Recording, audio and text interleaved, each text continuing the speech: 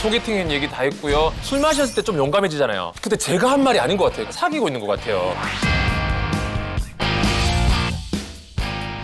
전화 영화 해보신 분? 네. 네. 전화 영화 한몇 개월 정도 하셨어요? 한 달 했었어요. 한 달하고 이제 안 하시는 거예요? 예, 영어를 되게 많이 못하던 때여가지고 네. 기초적인 영어만 이렇게 하려니까 그렇죠. 힘들더라고요. 네.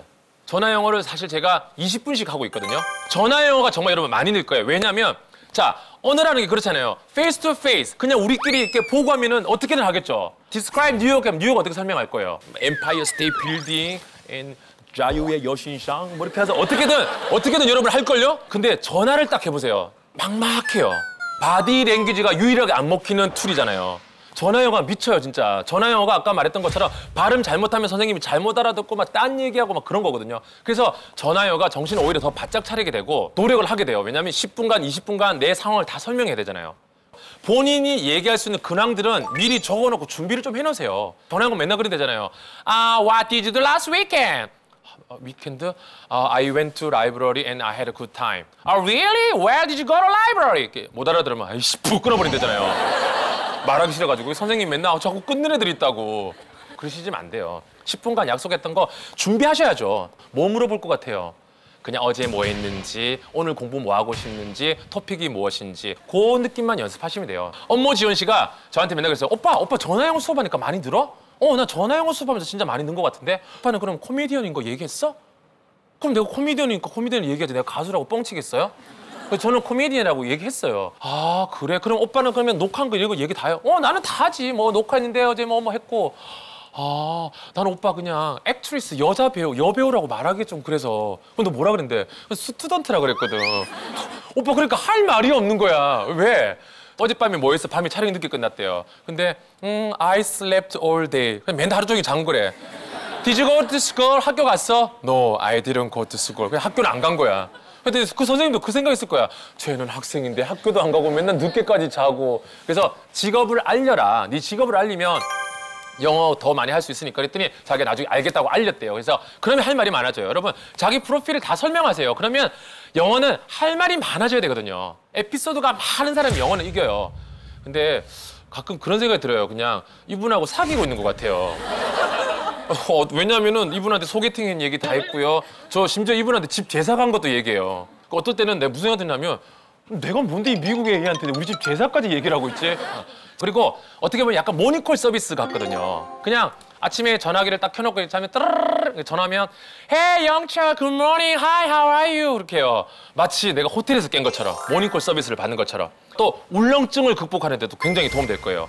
왜냐하면 어떻게든 이 10분간 활용하면서 설명을 다 해야 되고 굉장히 긴장되고 여러분 떨리는 그 목소리 다 들릴 거예요. What did you do last night?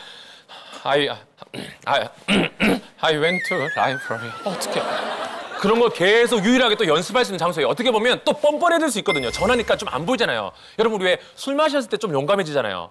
그런 것처럼 전화 영어에서 조금 용감해지는 방법이 있어요. 그 다음에 책을 그냥 보는 것도 좋은데 오디오북 해가지고 요새는 스마트폰도 있고 팟 캐스트 이렇게 들어가면 오디오북 사이트가 있습니다. 오디오북 사이트 들어가면 외국 책인데 한국어 버전으로 나온 것도 있기 때문에 그걸 먼저 보신 분들은 영어 오디오북 보는 거 더 쉬우실 거예요. 그래서 어려운 거 안 보셔도 돼요, 여러분. 보면은 소설 있고 그다음에 science 과학 파트, 공상 판타지 이렇게 있는데 self development라고 있을 거예요. self development 해가지고 우리나라 말로 하면 자기 개발서 파트인데 뻔한 내용들이잖아요. 그게 chapter별로 잘 나눠져 있어가지고 listening 공부하기도 굉장히 도움되거든요. 내 귀가 뚫리는데 여러분 천 원, 이천 원 투자할 수 있잖아요, 그죠?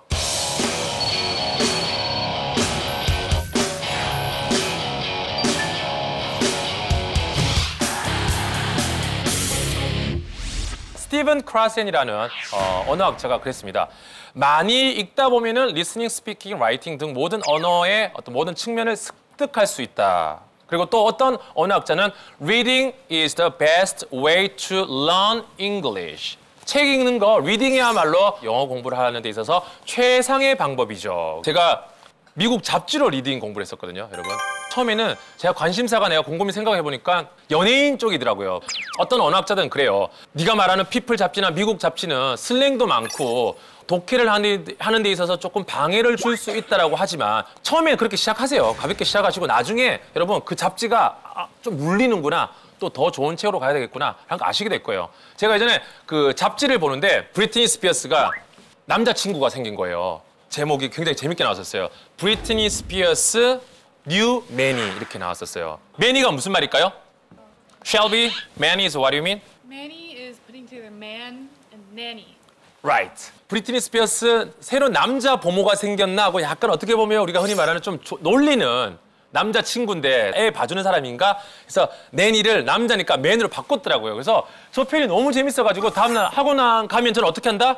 무조건 써먹잖아요. 그래서 What did you do last weekend or last night? 어젯밤에 뭐 있었냐? 그랬더니 oh, I just read tabloid magazine. So, funny. 뭐냐? 그랬더니 Britney Spears, you know Spears. Actually, she got divorced. 이혼했는데 새로운 남자친구가 생긴 것 같아. 그러면서 Britney's new manny. 아하하하, so funny. 그랬더니 영어 선생님이 No, you should said nanny. 그래요.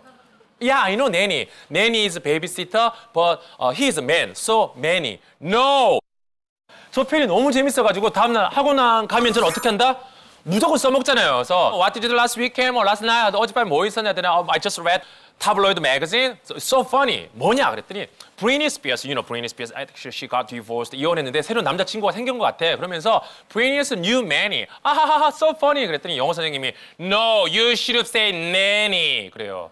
Yeah, I know nanny. Nanny is a babysitter, but uh, he is a man, so manny. No, manny isn't English, okay? nanny. 아, nanny 알겠는데. 그래서 man 남자라서 man이라고 했더니 no, nanny. 남자는 절대 할 수 없대요, man이를. 그래서 아니, 왜 그런 얘기를 하냐면 이건 신조어니까. 우리 사실 어떻게 보면 우리 어머님들이나 갑자기 미국 떠나 계신 분들 안습 이런 거 쓰면 모를걸요, 그죠?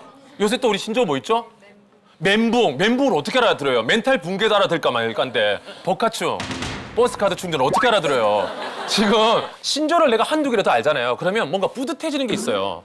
마치 내가 만든 것 같고. 저만의 나름 그 피플지 읽는 방법이 있는데 시각적으로 사실 이렇게 훑어보잖아요. 훑어보면 메인 글 같은 거 보면 딱 그냥 글들이 나와요. 딱 여기서 보면은 그냥 별거 없어요. 그러니까 어 뭐지? 그냥 둘이 안고 있고 딱 거기서 모르는 단어만 딱 찾으면 돼요. 다 알겠는데 cuddle을 모르겠다. C U D D L E cuddle. cuddle이 뭘까요? 힌트가 약간 나왔어. 둘이 뭐 하고 있어요? 안고 있죠. hug는 여러분 뭐예요? 포옹하다 그러니까 그죠? 그죠? 근데 cuddle은 꽉 껴안는 거. 우리도 왜 느낌이 다르잖아요. 톰 크루즈 영화 개봉된다. 자 누구 누구 나온다고? Who was in? 캐메런 디아즈 누구? 밑에 개봉 날짜 release 그다음에 마지막에 long story short 이런 표현 나와요. long story가 뭐죠? 긴 얘기 짧게 말해 요점 정리. 그리고 저런 잡지가 왜 좋냐면 긴 문장보다는 짧은 문장들이 많이 나와요. 그 다음에 내용들이 아까 말했잖아요. 뻔한 것들이 많아요. 제니퍼 애니스턴 울고 있고 브래드 피트도 안경 쓰고 이쪽에 있어요. 그러면 젠, 브래드, break up. 아 둘이 헤어졌구나. 그럼 내용 보면 헤어진 내용이 나오기 때문에 배경 지식도 적당히 있는 사람들은 reading하기도 좋고요. 그 다음에 간혹 잡지는 좀 가벼울 거야. 너무 신조어도 많고 세련된 고급스러운 표현보다는 좀 가벼운 표현들이 많지라고 하시는 분들이 있기 때문에 바뀌게 된다고요. 저 보다가 나중에 결국 여러분 타임지 보게 될 거고요. 영자신문도 슬슬 보게 될 거예요. 영자신문은 여러분 보신 분? 그죠? 영자신문 여러분 보는 거 아니에요. 들고 다니는 거예요. 영자신문을 누가 그 일일이 다 꼼꼼하게 봐요. 영자신문은 과시용이잖아요. 남들 보여주기 위해서. 왜 이 얘기하냐면 제가 영자신문 보라고 많이 했더니 어떤 아주머님이 자꾸 특강하는데 웃는 거예요. 이렇게 웃는 거에서 아주머니 왜 이렇게 웃으세요? 그래. 아 제가 얼마 전에 아는 언니 집 집들이를 하러 갔는데 집들이를 다 반쯤 치우다 우리 짜장면 시켜가지고 짜장면 먹으려고 야 신문지 깔아라 했는데 그 위에 영자 신문이 있는 거예요. 그래서 그걸 깔라고 딱 하는데 갔더니 야야야야야 야 아침에 그냥 그거 까는 신문 아니다. 그거는 그냥 올려놓는 신문이다. 남들이 오면 이렇게 어 이렇게 보잖아요. 그 영자 신문은 나 그때 알았었어요. 여러분 영자 신문 까는 거 아니에요. 우리나라 신문지 까셔야 돼요. 아셨죠? 영자 신문지 이렇게 자꾸 들고 다녀 보세요. 들고 다니다가 결국 보게 돼요. 들고 다니니까 미안해서라도 보게 되지 않을까요? 얘한테 너무 미안하잖아요. 맨날 바람만 세게 하고 한번 이렇게 좀 봐줘야죠. 처음에 장편 소설 보면 보게 될 것 같아요? 안 보게 될 것 같아요? 안 보게 돼요, 그죠? 단편 같은 거 있어요, 단편. 영어 책도 막 40몇 페이지, 그 다음에 3, 400페이지 하는 소설책을 72페이지로 줄여놓은 소설책들도 있어요. 그래서 그거 보면서 reading 계속 채워가시고 그렇게 하면 결국 단편이 중편, 중편이 결국 장편이 돼가지고 긴 책도 무리 없이 읽게 되고요. 나중에 CNN뿐만 아니라 여러분 한 시간짜리 막 방송 막 들으실 거예요. 그런 날이 올 거예요. 그런 날 오는 날 눈물 한 방울 딱 떨어뜨리세요. 자, 내가 이제 다 들린다고.